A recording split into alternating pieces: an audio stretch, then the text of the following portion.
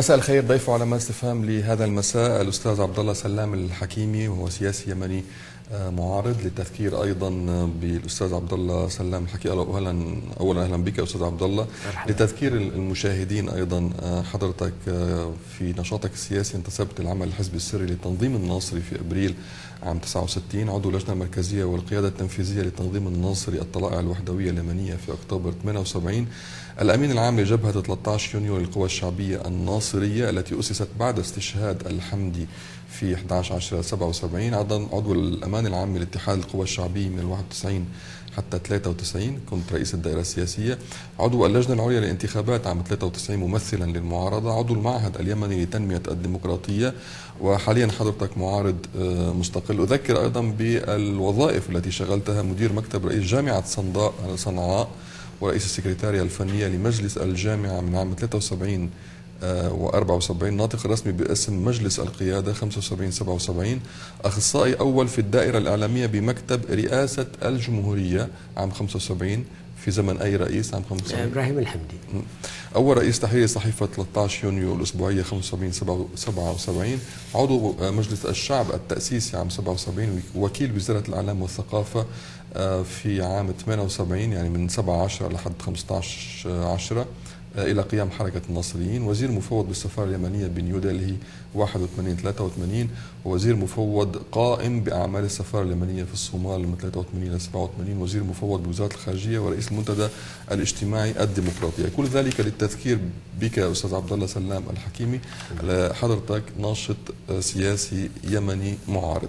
ما يجري حاليا في اليمن ليس ليس له علاقة بما جرى في مصر وفي وفي تونس وما يجري في ليبيا كان سابق التململ آه، الداخلي اليمني سواء جنوبا سواء في موضوع العلاقة مع أحزاب المعارضة أو في موضوع الحروب التي آه، شنت ست مرات آه، في صعدة ضد الحوثيين. كان سابق عن كل ذلك. هل ما يجري حاليا في اليمن متأثر بإمكانه أن يكون متأثر بالإقليم بما يحدث إقليميا أم له ديناميته الداخلي اليمني آه، هو في الحقيقة يعني آه، له ارتباط بطبيعة التركيبة اليمنية وطبيعة الوضع السياسي القائم في اليمن والوضع الاقتصادي أيضا. نعم. ولكنه يعني يحصل نوع من التأثير والتأثر في آه، تفاعلات وأحداث الإقليم بدون شك. ولكن اليمن كانت معنى أنه لم يعد استثناء. اليمن لم يعد استثناء على الحالة العربية أصبح جزء من هذه الحالة لا ليس استثناء لأنه من حيث تشابه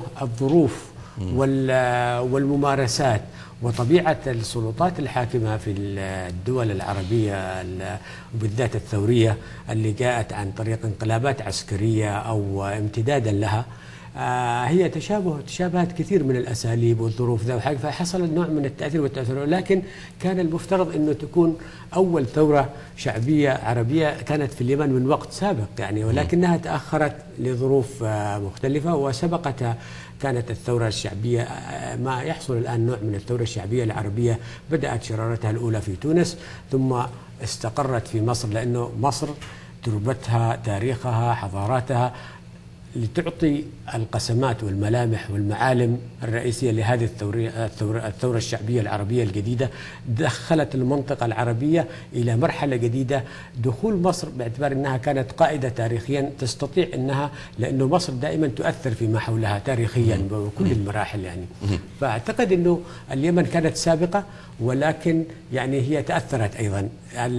ما جرى حولها أعطى نوع من التحفيز والتعجيل بنمط الثورة الثورة الشعبية الجماهيرية اللي قادوها شباب شباب غير منتمين حزبيا ولكن دفعهم عوامل كثيرة قمع الحريات البطالة الفقر آه، انسداد الأفق.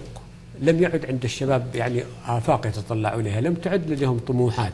فهذه الانفجارات اللي نراها يعني بالذات في اليمن مثلا وفي كما حصل في تونس ومصر وفي الجزائر وفي الأردن وفي هي نوع من نوع من وصول الشباب إلى درجة من الإحباط واليأس دفعهم إلى أن يعني يفجروا ثورة. آه، أستاذ عبد الله هناك طبعا شيء حصل في تونس و...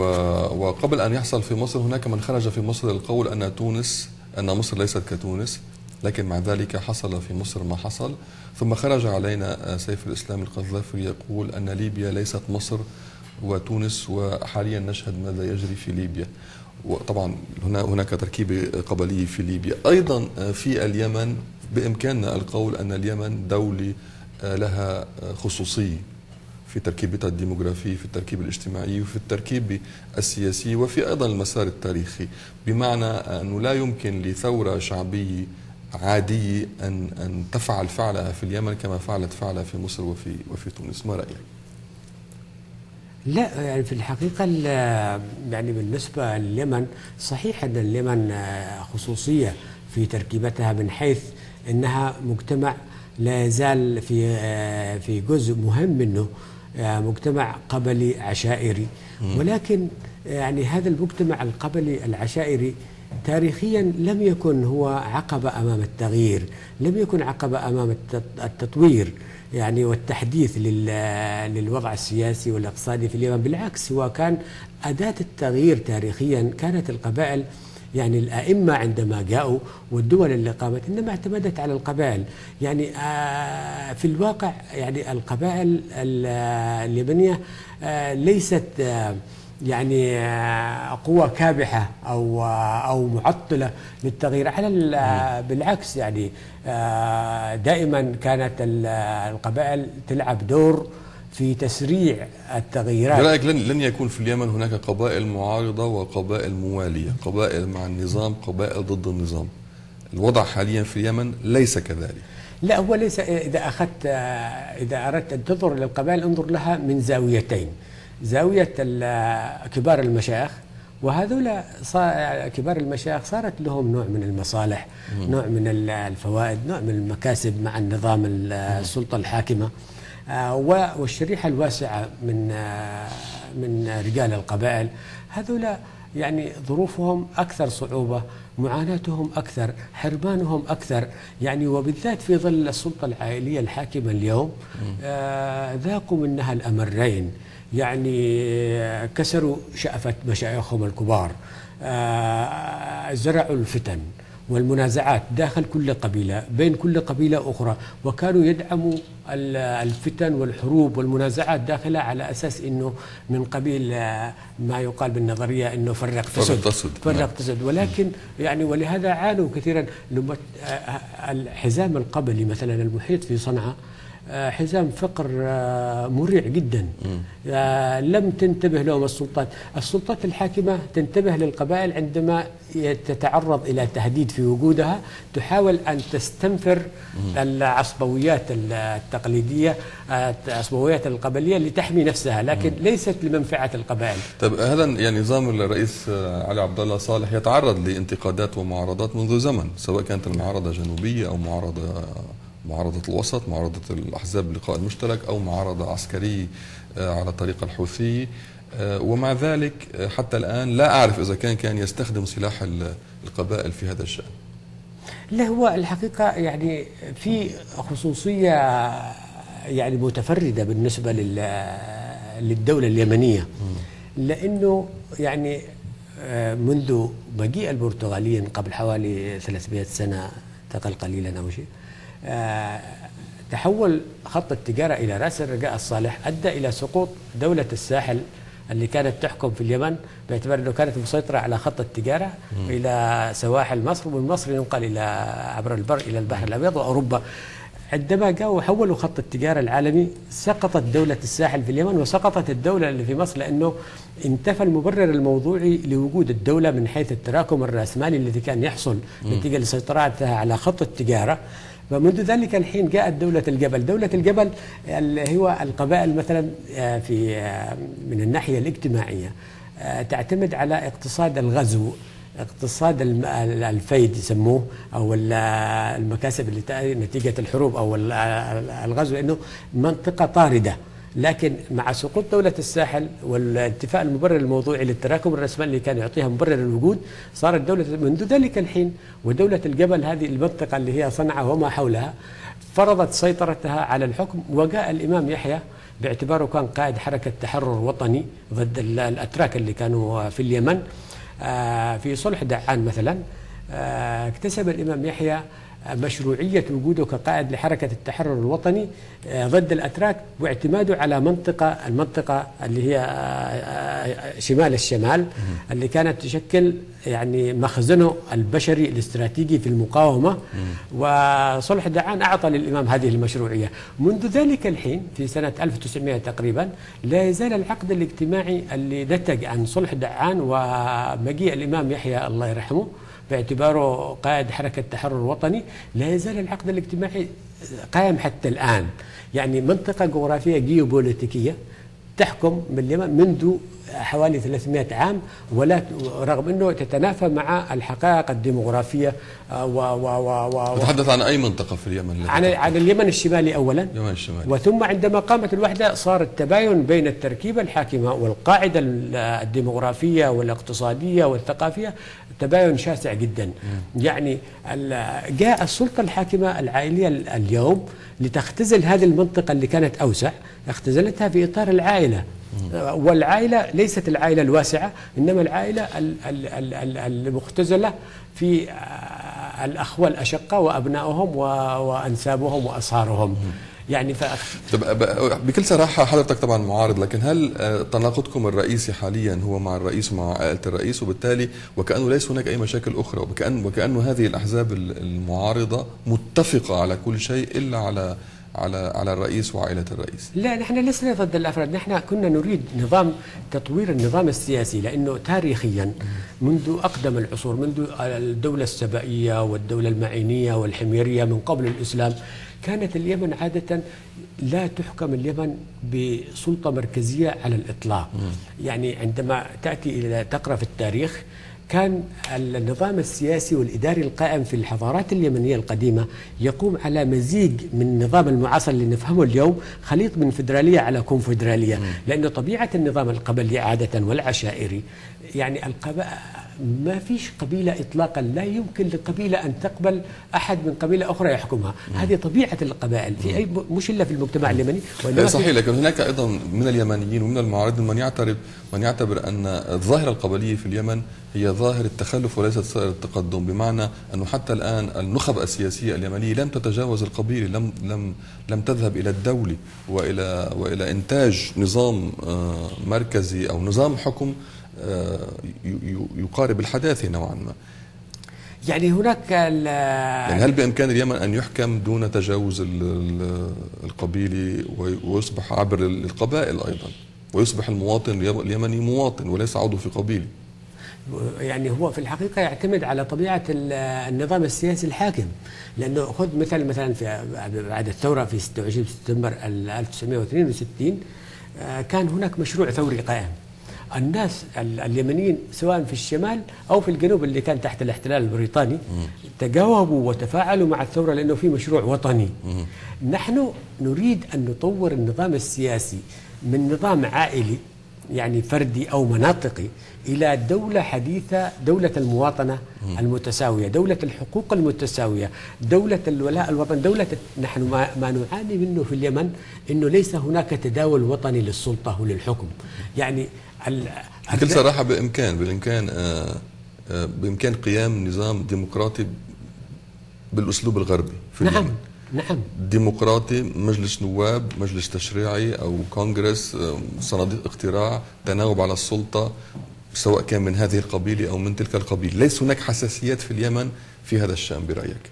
يعني نحن ال- النظام السياسي الأمثل للخروج لخروج اليمن من أزماتها المستفحلة والمتكررة هي في نظام اتحادي دولة اتحادية فيدرالية كما كانت في قديم الزمان. يعني حتى بعد الإسلام تعامل يعني دولة ال- الدولة تحدث عن لا مركزيه عن لا مركزيه سياسية أم إدارية؟ لا سياسية وإدارية لأنه كانت شوف أيام السبائيين مثلا أيام الدولة السبائية والحميرة والمعنيين كان في ولهذا لما تقرأ في التاريخ تجد ملوك آه، سبأ ملوك حمير. ما فيش ملك. ملوك. كان هناك يعني المثامنة يسموهم. المثامنة عبارة عن ثمانية ملوك يمثلوا المخاليف الثمانية. كانت اليمن مقسمة إلى ثمانية مخاليف. وكان كل مخلاف له ملك. هذا الملوك الثمانية يجتمعوا ليختاروا الملك الأول. الملك الأول ليس له حق أن يتدخل في شؤون أي مخلاف إلا عن طريق ملكه. وملك المخلاف يحاط بمجموعة من كبار القوم يسمونهم ال- الأعيان الأقيال.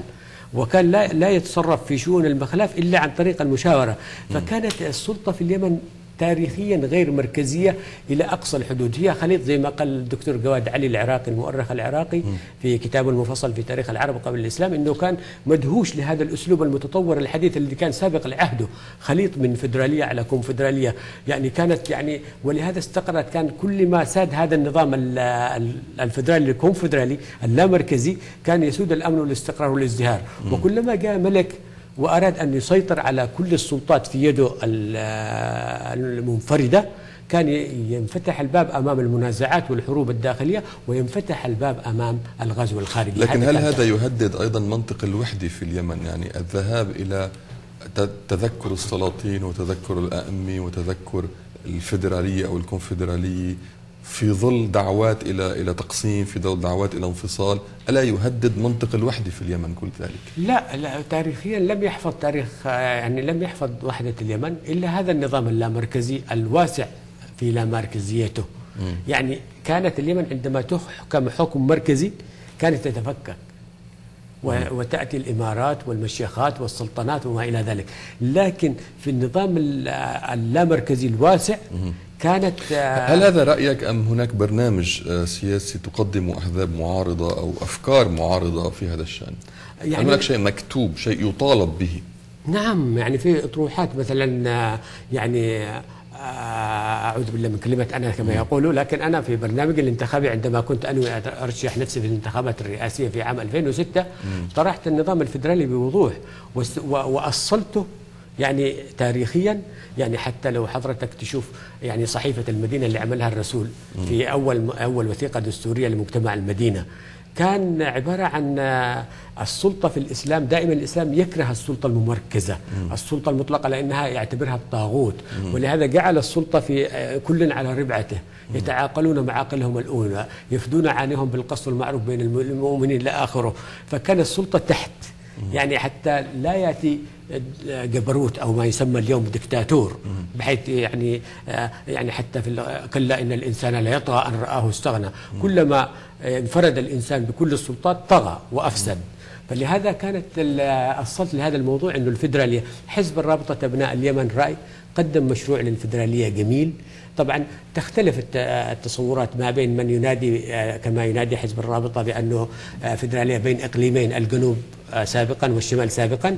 وأنا طرحت ثلاثة أقاليم يعني إنه الشمال مش معقول إنه يكون إقليم 4 مليون يشكل إقليم والإقليم الثاني حوالي 19 مليون. مش معقول. لكن لندع الجنوب كله إقليم لكن الشمال يقسم قسمين بحيث إنه يكون في توازن سكاني وجغرافي.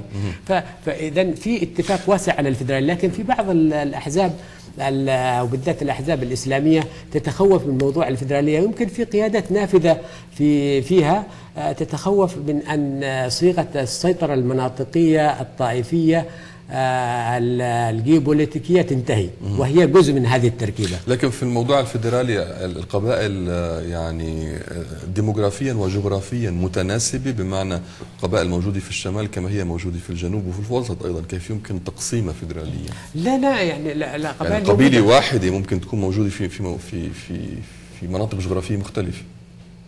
آه، اولا أريد أن أؤكد بأنه التركيبة القبلية هي قائمة على أساس فدرالي بل حتى كونفدرالي بمعنى خذ مثلا قبيلة خولان على سبيل المثال. تتكون من ثمان قبائل. كل قبيلة لها شيخ وفي شيخ مشايخ. ثم في المرجع الأعلى اللي هو عبارة عن المحكمة الدستورية العليا اللي هو يسموها المراغة. شيخ المشايخ لا يحق له على الإطلاق وهو شيخ مشايخ القبيلة كلها أن يتدخل في شؤون قبيلة إلا إذا طلب منه شيخ القبيلة هذه.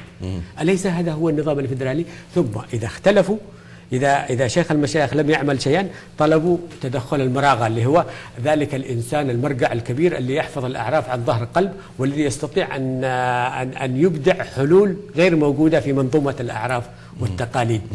فإذا القبيلة هي أساسا نظام فدرالي على كونفدرالي وهي أكثر ملائمة في النظام الف... ولهذا كانت تستقر اليمن لأنها نظام قبلي مع النظام اللامركزي لأنه يناسب تركيبتها. حضرتك تدعو إلى العودة إلى نظام القبيلة لا إلى العودة إلى الفدرالية. ال- ال- ال- ال- الدولة الاتحادية معنى تحطيم ال- المركزية المفرطة في مركزيتها التي ينشأ عنها الفساد وينشأ فيها التفكك والانحلال في الدولة. آه، طبعا حضرتك سياسي يمني م- معارض لا أعرف إذا كنت يعني قريب من من ما نعرفه من من أحزاب وتنظيمات معارضة في آه، في اليمن هل حضرتك جزء من برنامجهم؟ هل تتناقض مع برنامجهم؟ هل لديك اعتراضات على هذه البرامج أو حتى على الأداء الذي يقومون به؟ يعني أنا في الحقيقة أنهيت ارتباطاتي ارتباطاتي الحزبية في نهاية سنة 80 منذ ذلك الحين إلا محاولات طفيفة ثم استقريت على أن أكون معارض مستقل. ما اخذه على أحزاب المعارضة وبالذات اللي هي الرئيسية اللي يمثلها اللقاء المشترك والحقيقة هو اللقاء المشترك المعارضة الرئيسية.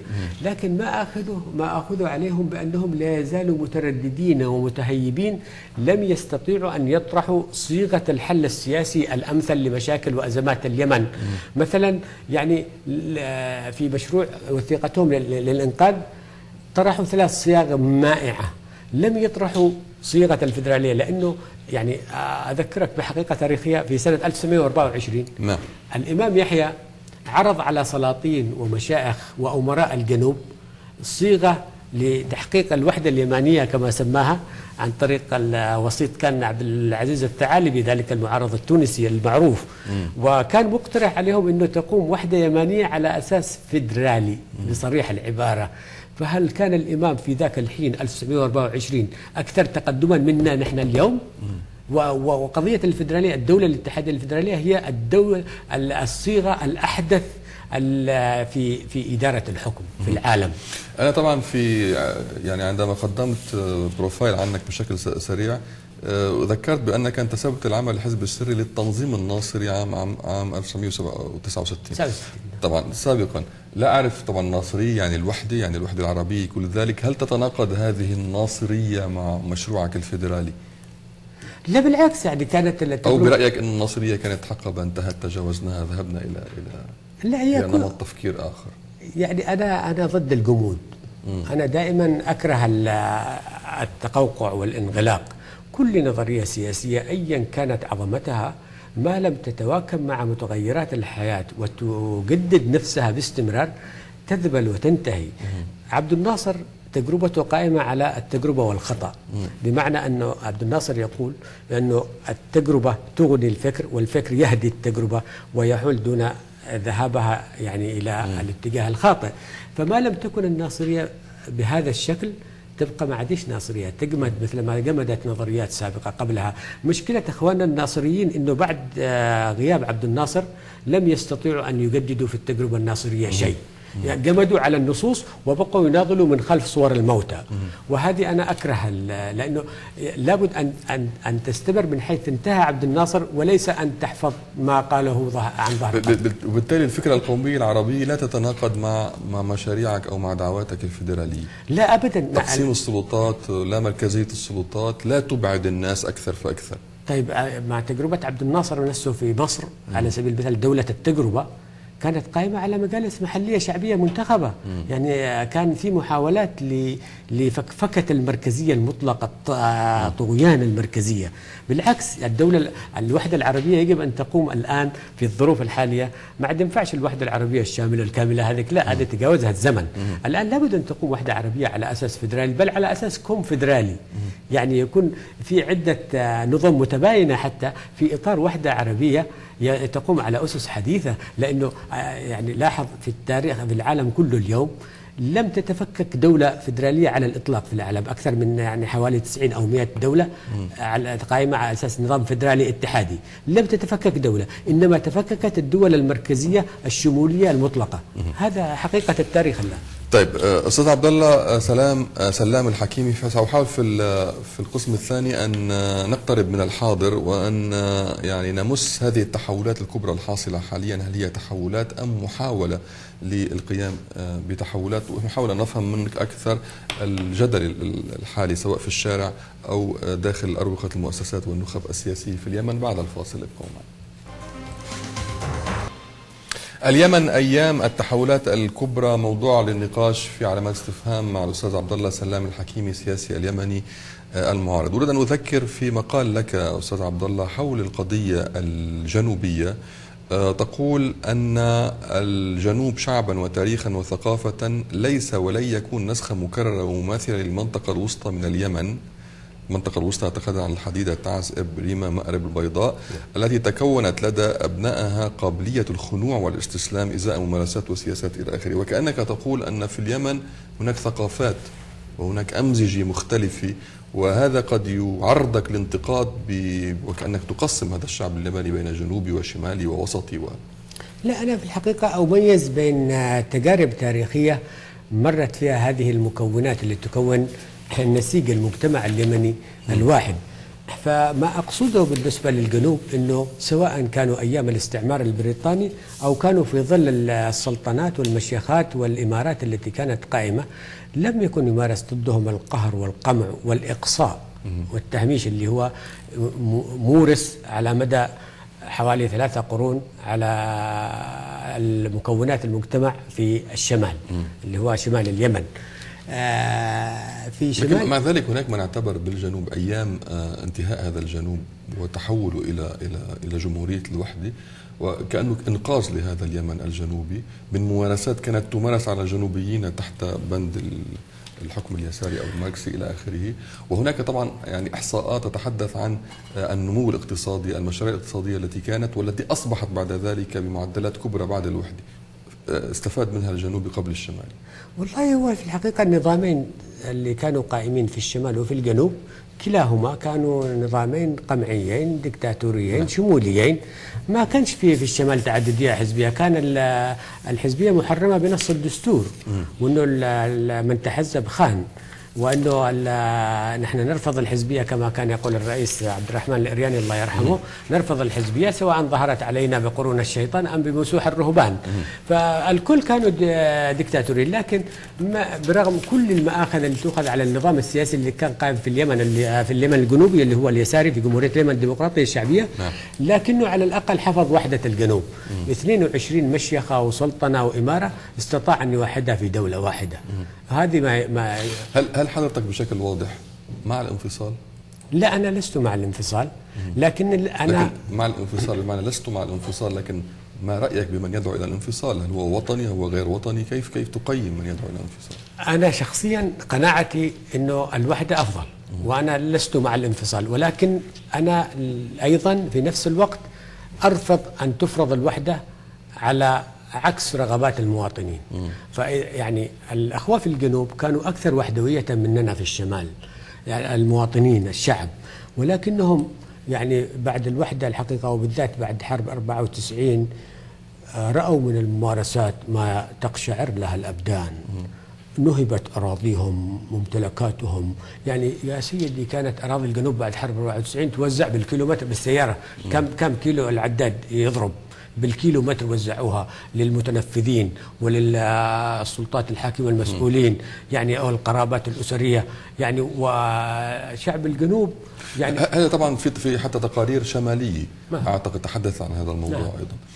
أريد أن أفهم منك سبب يعني سبب خلينا نقول تململ الجنوبي هو من سلوكيات ما يج... المتنفذين في الشمال وبالتالي إذا تحسنت هذه السلوك أو انتفت هذه السلوكيات فلا فلا فلا طائل للمطالبة لا بالانفصال ولا بالاحتجاج ولا كل ذلك. أم برأيك بنيويا بنيويا هناك شمال وهناك جنوب؟ لا الحقيقة ما فيش حاجة اسمها تناقض ثقافي أو حضاري لا. يعني مستويات التطور التاريخي واحدة تقريبا مع شوية اختلافات بين هذه المنطقة وتلك. يعني مثلا أنت لما تيجي تشوف مستوى التطور الثقافي والحضاري في إطار الشمال وحده بتجد في تباين بين المنطقة الوسطى وبين الشمال بين الغرب بين الشرق يعني في تباينات. ولكن يعني ما يطلبوه الجنوبيين ومعهم القطاع العريض من الوسط وسط م. الشمال اللي هم يشكلوا المخزن الاستراتيجي البشري الهائل يطالبوا بأنه لابد من تغيير التركيبة القائمة بدون أن يتغير طالبوا بعدالة في السلطة. بعدالة وتداول وطني للحكم. إيش معنى بالله عليك؟ لا يأتي رئيس من تهامة لا يأتي رئيس من الجنوب لا يأتي رئيس من تعز لا يأتي رئيس من أب لا يأتي رئيس من مارب لا يأتي رئيس من ريمة لا يأتي رئيس من البيضاء لماذا؟ وهم هذول يشكلوا ثلاثة أرباع السكان لكن تاريخيا منذ إقامة الجمهورية حتى الآن الرؤساء كيف كانوا موزعين؟ كلهم.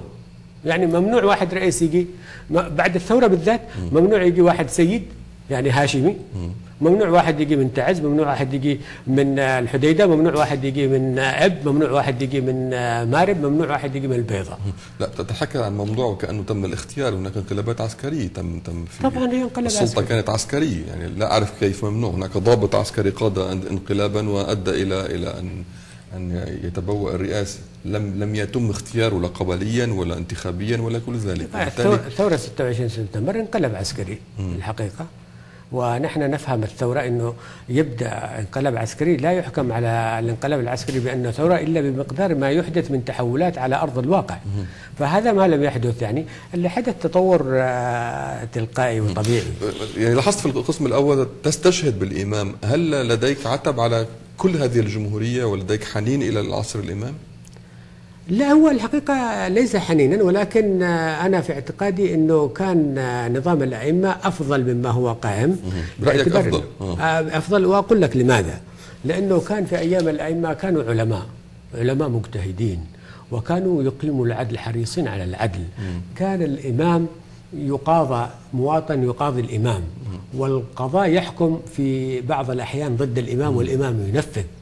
الأئمة كانوا حريصين لكن على هذا في إجماع عليه لأنه أنا كنت في اليمن وهناك نقاش على وكأنه يعني عصر يعني يعتبرون عصر ال- الأئمة عصر الظلام وبالتالي اتت الجمهورية أتت بعصر التنوير.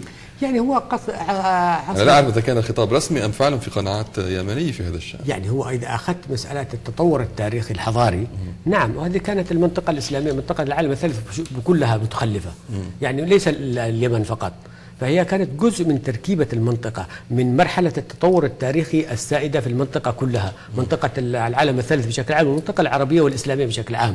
يعني لكن كان ال- الحقوق مصانة كان كرامة الإنسان مصان كان حقوقه يعني ما حدش يتعدي عليها. الآن واحد من الأسرة الحاكمة من الضابط صغير يمكن يمكن يخرجك من بيتك ويستولي عليها وفي قضاة يزوروه وفي محاكم تحكم لهم وإذا في معنا وقت أذكر لك نماذج مش يعني. آه، حتى يكون آه، يعني نقاش نحو ما يجري حاليا هناك مجموعة من المظاهرات خرجت هناك اعتصامات في صنعاء وفي في الجنوب في عدن أيضا آه، في تعز آه، تطالب برحيل الرئيس. الرئيس يخرج للعلن يقول أنا لن أرحل إلا عبر صناديق الاقتراع وبالتالي خطابه خطاب يدعو إلى ممارسة الديمقراطية بشكل عام.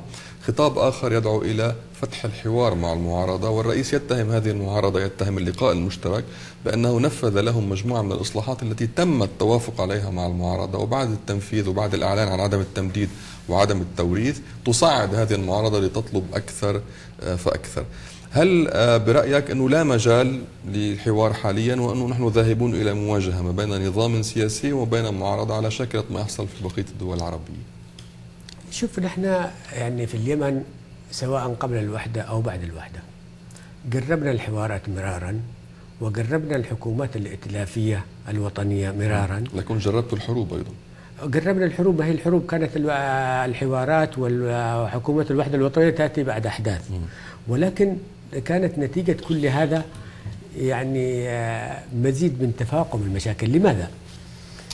لأنه نحن نتحاور مع من؟ المعارضة تتحاور مع من؟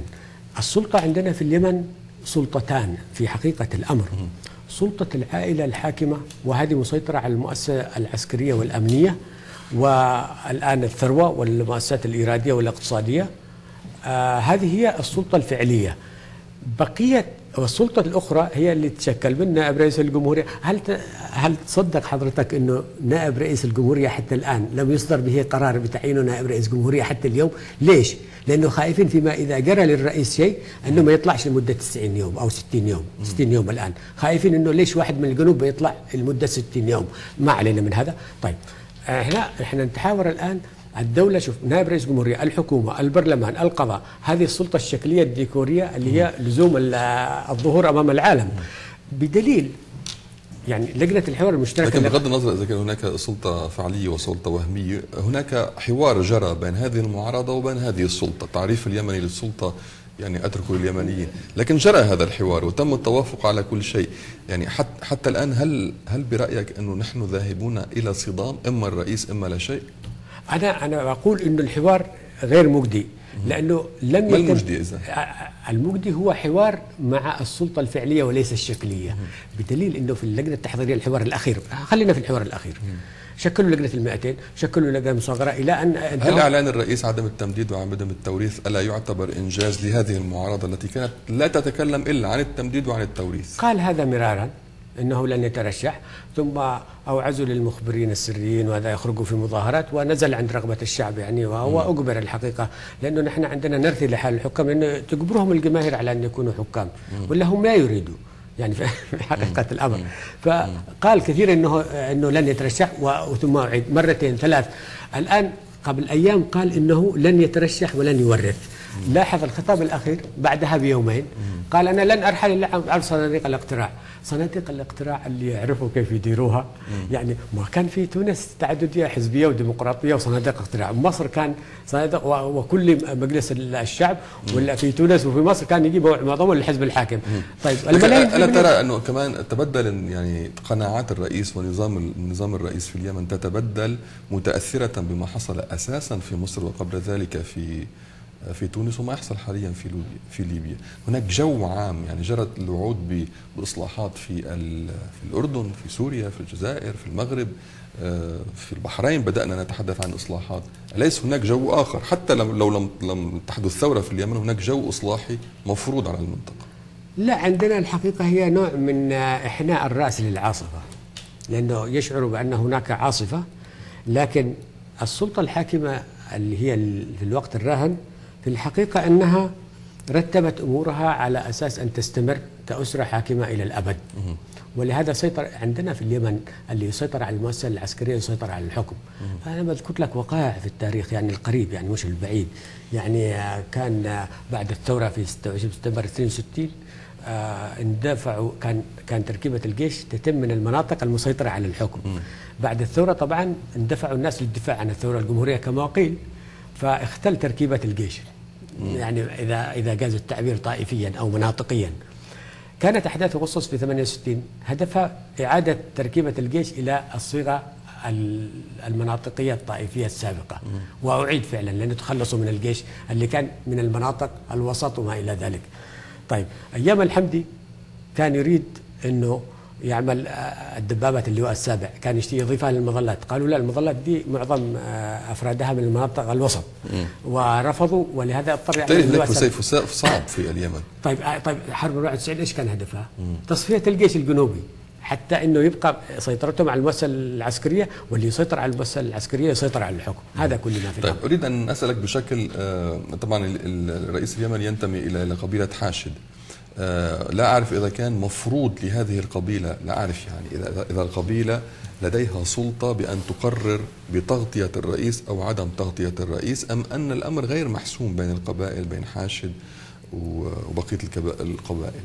شوف هي حاشد آه، عدة قبائل تشكل القبيلة الأكبر اللي هي حاشد مثل ما بكيل مثل ما مذحق مثل ما كذا.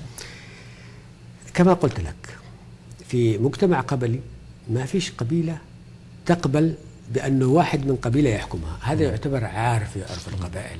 بما فيها حاشد الرئيس من سنحان. سنحان تسيطر على المؤسسة الاقتصادية آه، المؤسسة العسكرية والأمنية. تسيطر على الدولة. بقية قبائل حاشد نفسها ترفض هذا الكلام لأنه تعتبر نفسها هي أولى بالحكم آه، من آه، من سنحان. بقية القبائل ترفض. ولهذا شوف جاءوا الهاشميين حل وطني منذ أقدم العصور. عندما كان الصراع القبلي في اليمن استمر ل 200 عام تقريبا بين حاشد بكيل الدعام الأرحبي والضحاك الحشدي وراحوا جابوا الهادي من مكة مدري من المدينة عشان يحكم. لأنه يسموه في العرف القبلي موضوع متشعب لكن العرف القبلي الفرع الصافي اللي هو غير منتمي لهذه القبيلة أو تلك. يحل وسط ولهذا هجروا بمعنى التهجير عندنا التشييخ التكبير الترئيس. هجروه وعملوا له ضمانات حماية مبالغ فيها لكي يضمنوا حيادية حكمه. لا يك لا يميل لهذا القبيله أو تلك. طب أنا أريد يعني حتى حضرتك يمني اريد أن حتى يفهم اليمني ويفهم أيضا المشاهد العربي. آه، اولا آه، هل تقبل حاليا الرئيس هو من قبيلة حاشد؟ هل تقبل قبيلة حاشد نظريا أن يأتي رئيس من قبيلة بكيل أو بق- بقية أو أي قبيلة أخرى؟ هل هذا مقبول؟ هل هم من النضج السياسي بحيث يتخلون يتخلون عن الرئاسة لمصلحة آه، لمصلحة رئيس من قبيلة أخرى وهل هذا النظام القبلي اللي حضرتك تدافع عنه لا يعد كابحا ضد تطور النظام السياسي بأن يأتي رئيس كفؤ من عامة الشعب ينتخب عبر صناديق الاقتراع بشكل ولا هذا غير وارد في اليمن؟ لا عن طريق آه، صناديق الاقتراع ممكن يقبلوا لكن تاريخيا مثلا سبب الحرب الملكية الجمهورية إيش؟ لأنه اعتبروا إنه السلال المشير السلال يعني ينتمي إلى قبيلة معينة. مم. ولهذا القبائل الأخرى بقت ضد الثورة. مش لأنه حبا من الملكيه أو بالإمام لا. لكن لأنه هذا كان يمثل انتماء قبلي معين والقبائل ترفضه. حرب أنا قبلية. أنا لا أدافع عنها سموها ملكية جمهورية لكنها هي حرب هي حرب قبلية. طيب لما نجي القاضي عبد الرحمن الإرياني القضاة عندنا هجرة يعني يقبلوا فيهم لأنه محايدين. القضاة السادة والقضاة. فلهذا يعني آه، ساد استقرار في فترة حكم القاضي عبد الرحمن الإرياني عندما جاء الرئيس إبراهيم الحمدي اللي اغتاله يعني قاضي والقضاة يعني زي ما تقول محايدين يقبلوا فيهم المجتمع القبلي. فلهذا لابد من أخذ خصوصية المجتمع. يعني أنت أن تأخذ باعتبارك. أنا لا- حتى الآن لا أفهم كيف يعني تأخذ الخصوصية بماذا؟ يعني تطوير النظام السياسي بماذا؟ هذه هذه يعني- المعارضة تقول أنكم أنتم في الحكم يعني الرئيس في الحكم وهو يهدد بالتمديد والتوريث يعني حاليا يقول لا تمديد لا توريث، لكن حتى نغير الحكم نذهب إلى ماذا؟ إلى انتخابات إلى تناوب على السلطة بشكل هيك آه، بشكل سهل كما هو حاصل في البلاد الديمقراطية أم أن هناك تسوية تاريخية بين البق... بين القبائل يجب أن تكون لتغطية هذا التغير وهذا التبدل لا هو شوف قضية التوريث هذا كلام فارغ. مش ممكن يركب في اليمن إطلاقا. يعني إذا يعني هكذا قيل في بلدان عربية أخرى وتم التوريث وتم التجهيز للتوريث يمكن في ظروف معينة يعني في ظروف استثنائية معينة ممكن يعني زي ما حصل في بعض البلدان. لكن التوريث يعني يقابل على طول حرب أهلية بحكم طبيعة المجتمع القبلي العشائري. ولكن يعني نحن نريد يعني نظام يعني تتمثل فيه كل مكونات المجتمع اليمني. أن تكون يعني مساحة المشاركة مشاركة فعلية حقيقية لكل مكونات المجتمع اليمني. هذا لا يضمنه إلا النظام الاتحادي الدولة الاتحادية الفدرالية ويعني حكم يعني تركيبة القبائل. مثلا أنا ذكرت لك مثلا قبيلة قبيلة من القبائل متكونة من ثمان آه، فروع. آه، عايشة بسلام. لكن كل واحد يدير أموره آه، ل- بطريقته. شيخ القبيلة الصغر يدير آه، أموره ما حدش يتدخل فيه. صحيح. النظام الفدرالي هو يحاكي هذا النموذج القبلي وبالتالي ينسجم مع القبائل. طيب في تحليلك آه، أستاذ عبد الله سلام الحكيمي في تحليلك من هم من الذي يتظاهر؟ من هي المظاهرات؟ هل هي يعني بش بشكل صريح؟ طبعا المظاهرات بالنسبة لنا ك ك كخبر إعلامي هي مظاهرات مواطنين يم- يمنيين معارضين. لكن يبدو أن الأمر ليس كذلك. شوف هو الحقيقة المظاهرات يعني آه، مظاهرات آه، خطط لها ونفذها شباب يشعر بأنه يعني الطموح الذي كان يعني يتطلع إليه أغلق بابه. آه، تطحن البطالة. آه، مهمش. الآن يجد أنه يا سيدي يعني أبناء المسؤولين الحاكمين يعني ما أن يبلغ الرشد أحدهم حتى يعين وزير أو أو ما في حكم الوزير دون المرور بأي شيء. يا- ونحن إذا ما بلغ الرضيع لنا فطاما تخر له الجبابر ساجدين هذا هذا الشباب يشعر بأنه هو مستقبله مستقبل أبنائه أحفاده ضائع. هذا هذا هذا الشباب العابر للقبائل. الحبر من كل القبائل القبائل. ومن القبائل حتى. حتى أبناء القبائل يقول لك أنا يعني الآن تجد أنا بعطيك أمثلة كثير.